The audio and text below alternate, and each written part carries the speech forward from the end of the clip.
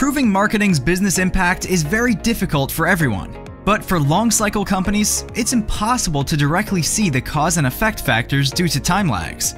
Despite the explosion in marketing software and data, business executives are more frustrated than ever by marketing's inability to prove business impact. Budgets are under greater scrutiny than ever, and large numbers of CMOs are losing their jobs because of inability to prove the impact of their efforts. It's likely that you're feeling the same pressure to prove business impact. Here's where Proof comes in.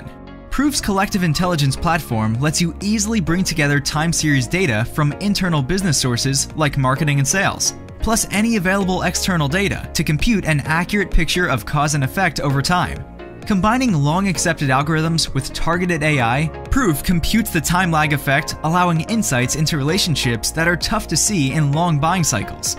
With our intuitive drag and drop UI, Easily upload time series datasets and discover relationships within your calculations library. Create correlation pairs to understand cause and effect relationships and create value chains to explore the ripple effect generated by different marketing investments on business outcomes.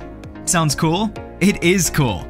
Want to share information with colleagues both inside and outside the organization? With Proof Exchange, you can.